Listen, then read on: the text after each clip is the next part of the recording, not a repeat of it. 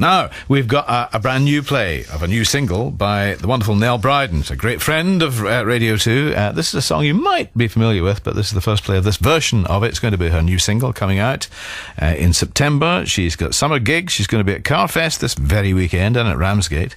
She's going to be uh, all over the country, really, in Newcastle, Edinburgh, Milton Keynes, Market Harborough, Cardiff, Birmingham, London, the Jazz Cafe, uh, through November.